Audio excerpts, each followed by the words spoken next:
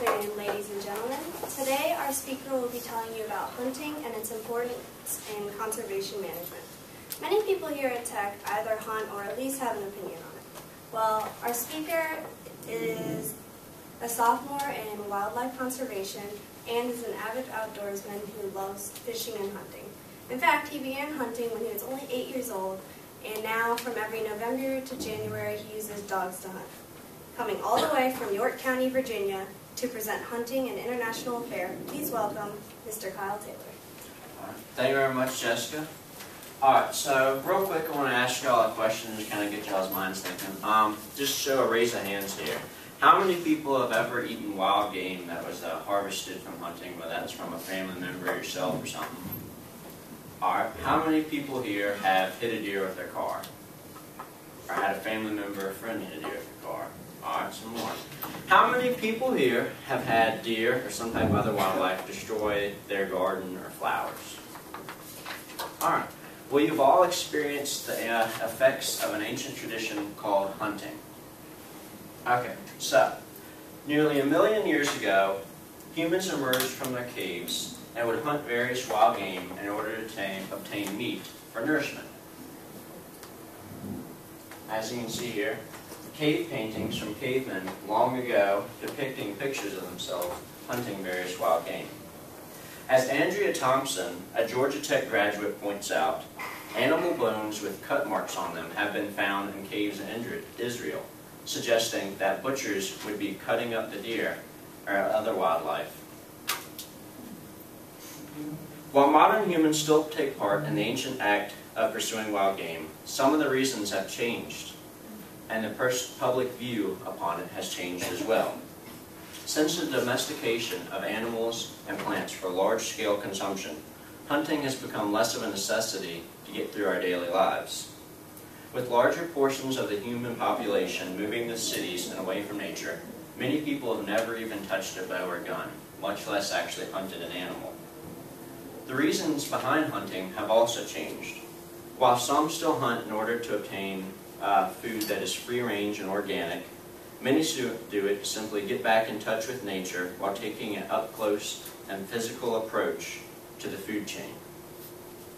Nevertheless, hunting is still a major conservational management tool that is used worldwide in order to control wild game populations, raise money to help protect valuable and critical wildlife habitat, help boost economies, and even feed the less fortunate. During ancient times, humans were not the only major predator on the food chain, but often competed with other animals for their prey. But now, in the 21st century, many areas in the U.S. lack major predators such as wolves, bears, and cougars.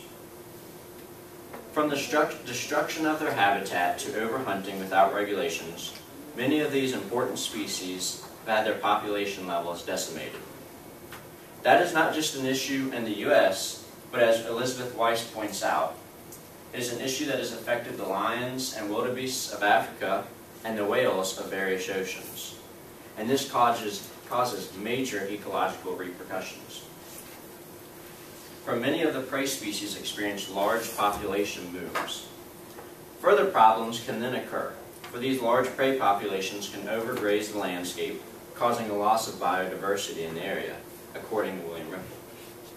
In cases such as the suburbs in the United States, large clusters of housing developments can shy away smaller predators that would generally prey on deer and rabbits, while still offering a large amount of nourishment, such as your gardens and flowers. With little predators and a lot of food, these animal populations are then able to explode. In cases such as these, hunting could serve as a means of reducing the prey population. By using hunting to control prey populations, this could also help to reduce the spread of human and wildlife diseases, such as Lyme disease, while also reducing crop damage and the overgrazing of wildlife habitat, and then further lower wildlife-influenced vehicular accidents. In some instances, such as big game hunting in Africa, hunting individual animals can actually protect the populations. As the case of the Radiolab guest speaker Corey Knowlton purchased a hunting license to hunt the black rhinos, in which officials and trackers had pre-selected an older male rhino for the hunter to harvest.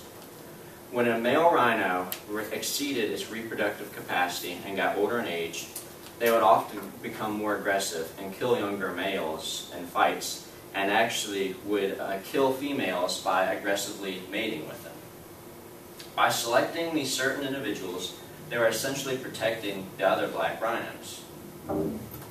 Across the globe, forests and grasslands are being cut down to be turned into croplands or being developed for human habitation. This leaves less room for wildlife to inhabit, often causing unwanted wildlife interactions.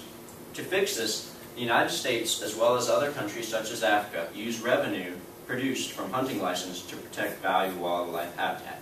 In Virginia, as well as many other states, majority of the money, upwards of 90% of the money produced from hunting license sales, goes towards funding the Department of Game and Inland Fisheries and protecting valuable habitat for both game and non-game species. This public land not only protects our wildlife, but also allows opportunities for the public to get out and experience nature through various activities such as hiking, biking, nature walking, hunting, and even fishing. As the Virginia Department of Game and Inland Fishery points out, an act termed the Pittman-Robertson Act was an act put in place to put special tax on firearms, ammunition, and other hunting equipment. It then uses these revenues to further create and protect public land in the United States. In places such as Africa, as Radiolab points out, a hunting permit can cost anywhere from several hundred dollars to upwards of half a million dollars, depending on the local endangerment of the species. Such as in the case of Corey Knowlton in the Rhino Lab with the black rhino, many may argue that hunting of an endangered species is senseless. The reason behind it, though, is that the money generated by these expensive hunting licenses helps to protect land in Africa in the form of national refuges and helps to fund their government agencies that are responsible for protecting wildlife from poachers, which is actually a major problem in places such as Africa. When Knowlton purchased a hunting permit to hunt the endangered rhino, he paid $350,000 in hunting licenses alone. That was a great contribution that the refuge could then further use. Wherever hunting is occurring, revenue from hunters is also being generated into the local communities and larger corporations, helping to support many local and even government economies. According to Virginia Department of Game and Inland Fisheries, 2006, hunters spent nearly 480 million in hunting equipment and trips. The estimates are that hunting and fishing combined produces $128 million in local and state taxes, producing 24,000 jobs in Virginia alone. During hunting season, many gas stations and other small convenience stores experience a large boom in their revenue, with an influx of hungry customers helping to raise their profit levels. This does not just apply to states in the U.S., but also other countries as well, such as Canada. As Randy Shore tells, hunting from both residents and non-residents produces nearly $350 million for Canada every year. He also acknowledges the economic impacts that could occur without it. In many areas, the generosity of hunters can also lead to the supply of healthy wild game meat to organizations that help people of low economic income. One organization is termed Hunters for the Hungry, which is an organization in the United States that is operating in many chapters, in many states and chapters across the U.S. According to the Virginia chapter of Hunters for the Hungry, their chapter has been operating for 21 years, and in that time span, they have donated 22.2 million servings of venison alone to hungry families who needed the nourishment. Their process is rather simple. They encourage hunters to har legally harvest large game animals. After properly field dressing them and transporting them to their centers, they then butcher them and send them out to a convenience store, or not convenience stores, to um, collection centers, where then families may pick them up. From there, money donations can then further be used from the public to help pay for butchering fees Another similar organization is the Maria de la Esperanza mission in Argentina. This organization collects shot mourning doves from the local shooting lodges and helps to feed hungry children, feeding nearly 1,500 children a day.